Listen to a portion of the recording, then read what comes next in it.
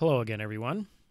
Welcome to the third installment of the ICOM IC 7300 from A to Z. Today we're going to talk about the band edge function. You can follow along on pages 3 7 through 3 9 in the ICOM manual. And we talked about this a little bit uh, in the previous episode. And I showed you about when you tune out of the band, you get the beep and the dotted, the solid line changes to dotted on the transmit indicator. And when you go out of the amateur band, you can't transmit.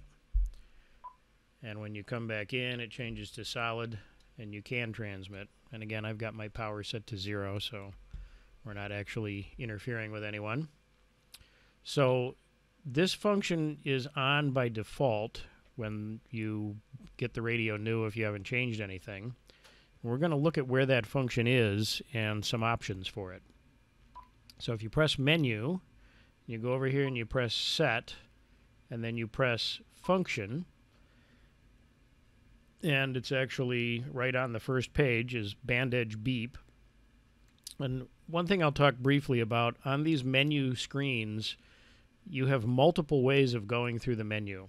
Um, you see the arrows here. If you press the down arrow or the up arrow, you go through it a page at a time, and you can see this little locator bar that shows you where you are relative to the menu. You can also use the tuning dial, and you can scroll up and down one at a time that way.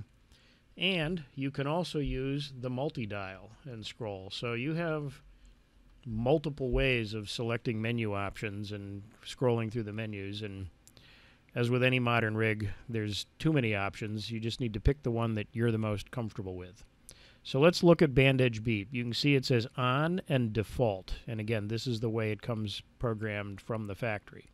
So if we touch that, we have four choices off, on default, on user, and then on user and TX limit. So just really quickly, I'm going to turn it off and we're going to go back and see what that does. And if I tune out of the amateur band, you, notice there's no beep now and the transmit indicator didn't change. So you get no indication that you've gone outside an amateur band. Uh, that doesn't change the fact that the radio won't transmit there. So if I try to transmit outside of the band, nothing. There's a you can hear a little relay click, but the transmit indicator doesn't come on, and the transmit indicator on the screen doesn't come on. If we come back inside the band, now you can see the radio goes into transmit. So you can turn it off if you don't want the beeps, but it doesn't still doesn't allow you to transmit outside of amateur bands.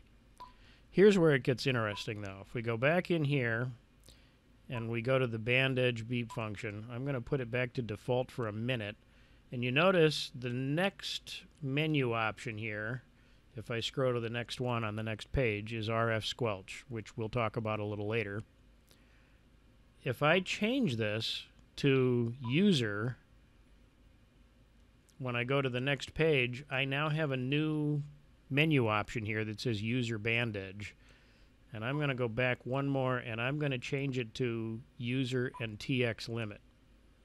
And that still gives me this user band edge function. When I press that, I now get a list of user defined band edges. Now, the default band edges that are pre filled for you are basically the same ones that are in the default mode. So for each band, it starts at 160 meters and works its way up. And for each of these, uh, here's 60 meters, 40 meters, and so on. Each of these band edge limits is the entire band.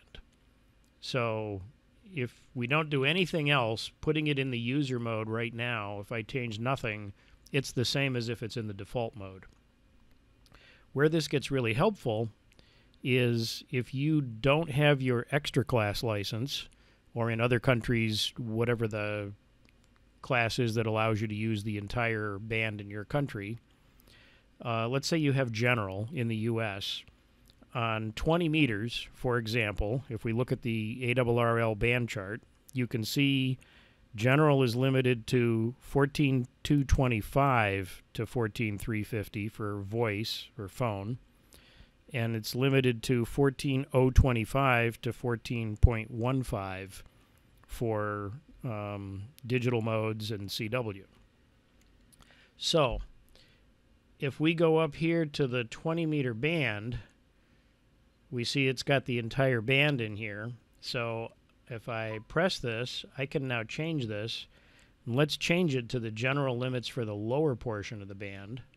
And you notice I can use the tuning dial here, or again, I can use the multi-dial, or I can actually just enter the frequency and press enter, and then it goes to the next one. So that's 14025, and then the top end of the data portion of the band is 14150. So we'll press enter, and we have that in there. Now, there were a bunch of unused slots down below. One of the things about the band edge um, ranges is they have to be in order. In other words, uh, after the top of this one, this next frequency here has to be higher than this, and then this has to be higher, and this has to be higher, and so on. You can't put anything in here out of order. So if I want to do the upper part of the 20 meter band, it really needs to go in this slot, but I don't really want to undo all the other bands above here. So if I touch and hold this, I now get another set of options. I can insert, delete, and we'll talk about default at the end here. So I want to insert, and I'm going to insert a new user band edge, so it pushed all the other ones down. And we're going to make this one the phone portion of the band, so 14225,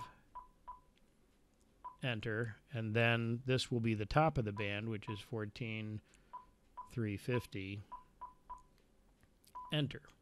So now I have two 20 meter slots, and then if I scroll down, you'll see the rest of them all got moved down, and we now have 12 slots used. So let's go back out and see what that did. So now, if I tune down, when I get to below 25, which is the general portion of the band, my transmit indicator changed to a dotted line and now, even though this is in the the amateur band for extras, the radio will not transmit here unless I'm inside the general portion of the band.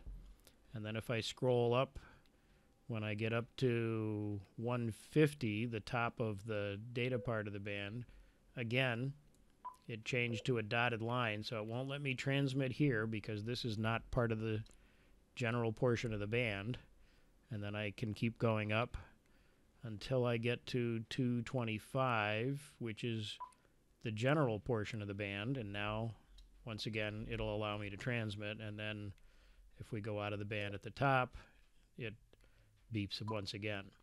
So now the radio limits you to only transmitting in your portion of the band. And then, of course, you can repeat this for all the other bands um, that have different segments uh, for different license classes. So let's go back to the menu one more time.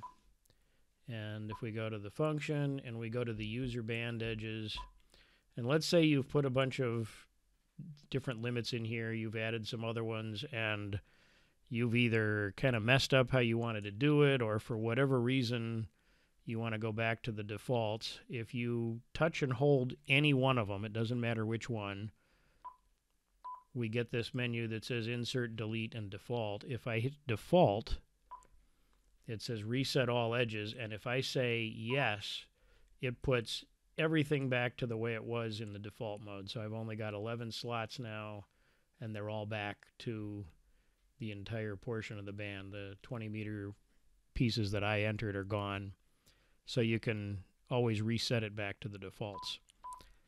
So that's the user band edge mode, and I think that's a very handy function to have.